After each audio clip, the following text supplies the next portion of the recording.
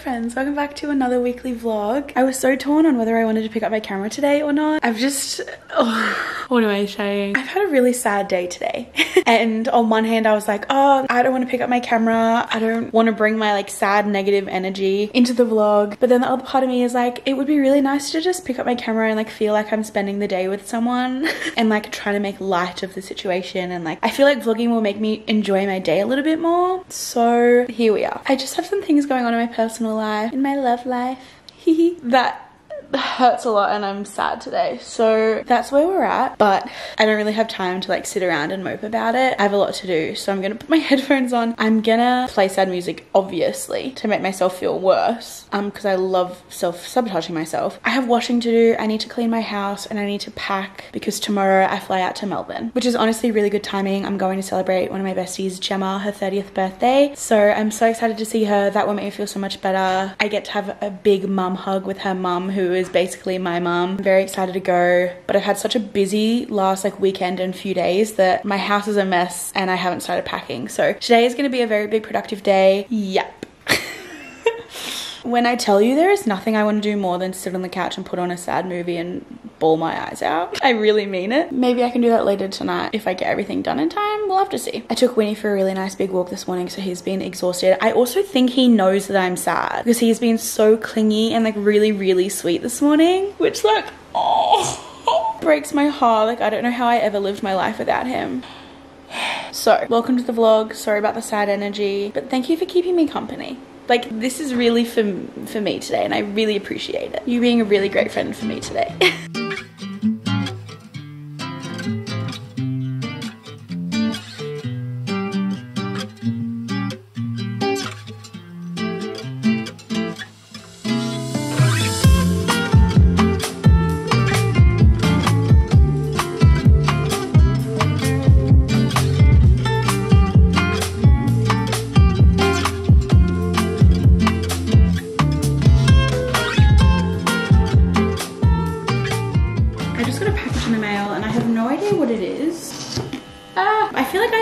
it because the address is, I don't know, it doesn't matter. Oh, I can't open it. Oh, okay, this is from a jewelry company jewelry jewelry company. Kirstin Ash i think that's how it's pronounced. Oh my goodness. They are beautiful. I've actually been after a new pair of hoop earrings that have a little pendant dangling off them. We've got plain little hoops as well. Can never have too many. Oh my gosh necklaces! Oh my gosh. Oh wait these pendants have shells on them. I really don't know if you're gonna be able to see. Shells like imprinted on them. And this necklace has a matching little pendant to the earrings that has a shell on it next to a little pearl. That is so cute. And then this is the other necklace. How adorable. I literally want to put on the pendant earrings right now. That's what they look like in. I'm obsessed. They're so cute. And a little shell. That's a bit of me, isn't it? Oh my gosh, thank you so much. That is so sweet. My vacuum is currently charging and I need a little break from cleaning. So I'm about to head out and run some errands. I love you so much. I'll be back later. I need AA batteries. I need a new bag of dog food so that Winnie doesn't run out while I'm away. And then I want to buy the book Powerless that I just read recently. Ideally, I'd love to find two copies. I feel like it's kind of hard to find at the moment, so we'll see if I even find it to begin with. But I've ordered Gemma's birthday presents and they haven't arrived yet, which is so annoying. So I'm just gonna have to ship them to her once they arrive. But I feel like I can't rock up empty handed. And I've been convincing her to read Powerless and she's on a book buying ban. So I'm gonna buy her the book. If I can find two, I also want a copy for myself because I loved it so much that I need to reread it and annotate it myself because I kind of haven't stopped thinking about it since I read it. There's also a new queer romance that's come out recently, a sapphic romance that I am yet to see in store and I need to go and buy it because it is so cute. We're on a mission to find a few things that I have low hopes that we will find, but we'll see how we go.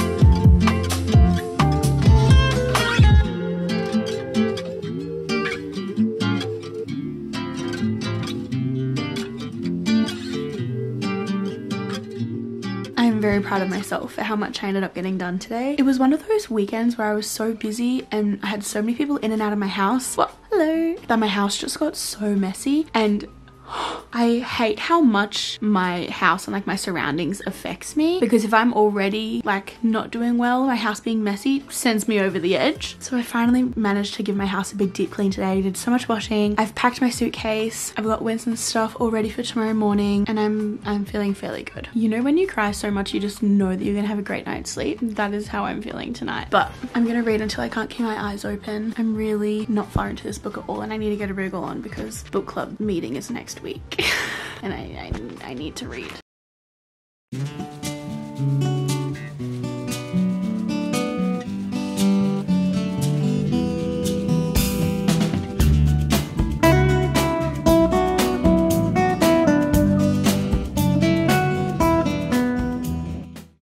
Good morning! Good morning! I have been in Melbourne for a few days and been the absolute worst vlogger ever. Now that we're done with that, Uh, you want to just a renegade? What you've missed. A huge day of errands. And then the party. Wow. It's not like this is your job or anything. Hey! Hey, hey, hey, hey! Spent all day really on the couch yesterday. We had a hungover barbecue. We did, it was delightful. I was hungover yesterday. Jem's hungover today. It's a bit I'm delayed. not hungover, I just feel like I've like, look how like puffy I am. like I feel like yesterday I was glowing and I felt great after No, you like were so going to bed at 2.30am. Like I was so solid. And then today I've woken up and I'm like, oh, I feel like I've been punched in the face. we hate to see it. but I'm about to go get my sweat on and I feel like that's going to make me feel better. Yeah, Gem's dragged me to strong. I've done like maybe two strong classes in my life, and I thought I hated them, but then the one we did the other day I actually really enjoyed. Slay. Slay. Two in like four days. Yeah, and I haven't really worked out. I feel like I was a bit off my game before Korea, and then obviously didn't train in Korea, and then I haven't been on my game since coming back. So I was expecting to be so sore. Yeah, it was we very like it was an intense class, and Yeah. we weren't that sore, which I'm like that makes me feel like I'm very fit. Yeah, I'm like, did I not push hard enough, or am I just a weapon? I feel like we were going hard. Yeah, I was trying really hard. Yeah, I was trying really hard Yeah. too. We're gonna do strong this morning, and then we're gonna go and run some errands, and then we have some friends coming over for a little picnic this afternoon. Just really dragging out the birthday celebrations. Yeah, as you I haven't even had my actual birthday yet. My actual birthday is tomorrow. And you've been celebrating for three days. literally. I love it, as you should. Wish us luck. It's like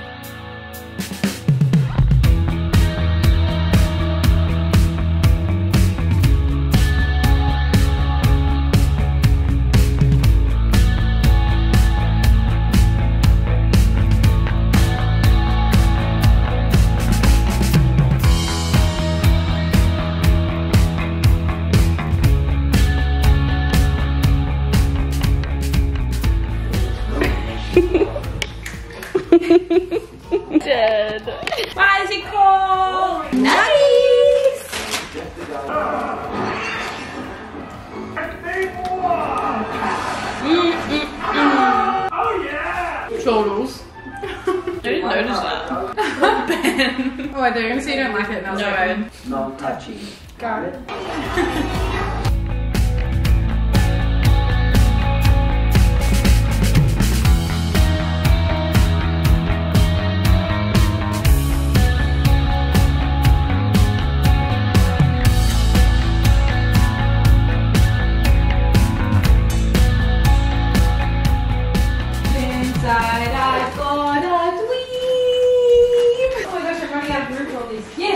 Oh, I just dropped so many oh. presents. Oh. Such a blessed little goose. What a shame. Goose. Goose. Your Honor. Slay. Your honor, she's slaying. Thought you said you were full. I am. I'm looking at wine. Oh, okay then. Pecans. I'm so full. How good was your dinner? So good. Oh my gosh, why are your hands so soft? Goodness gracious me. Wow. Are they? Can you put the heater on for a little bit, honey? Dinner was 10 out of 10 for me. Oh, same. Literally phenomenal. And dessert was 10 out of 10 Was dinner 10 too. out of 10 for you, Jack? Yeah, yeah, it was. So good. goose 1, goose 2. Egg.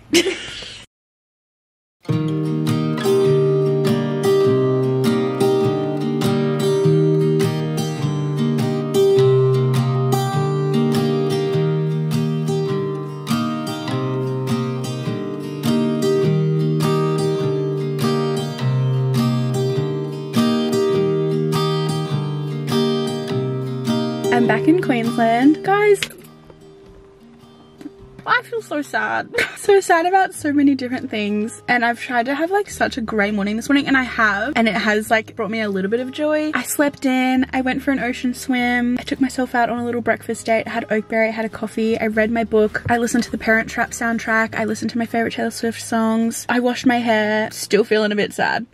But I've just driven to Soap's house. Rachel and Lang I think are already here because we have book club. I literally finished the book this morning. I can't wait to talk about this book with them because I feel like I have so many thoughts but they don't make sense and I feel like once I talk about them with the girls it'll all make sense. Hopefully that's the case. And I feel like this is exactly what I need right now. Like some good quality time with some of my best friends. Let's go eat and talk about books. I'm excited.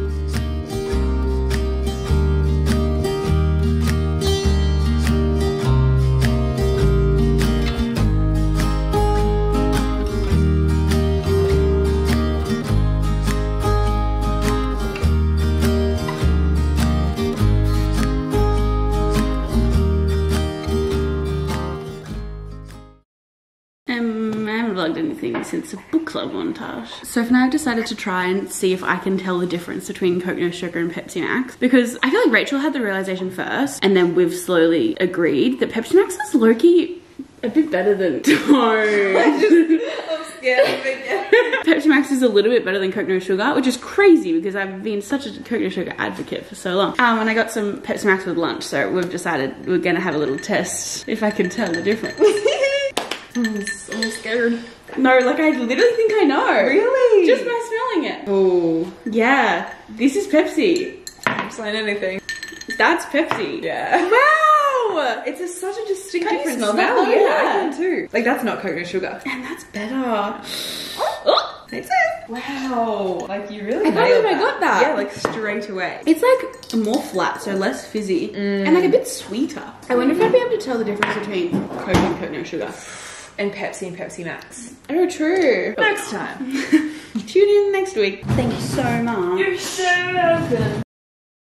I can't even tell you how much better I feel crawling onto my bed like that. It's disgusting. How much better I feel right now than I did at the start of this vlog. I was just editing a little bit of it and I'm like kind of embarrassed. Like I kind of want to delete the whole thing because she feels like a girl who's very far away and not here right now. But I mean, my feelings are valid, don't get me wrong, but I just I really feel so good right now. Also, oh my god, let me go get, let's have a book chat right now because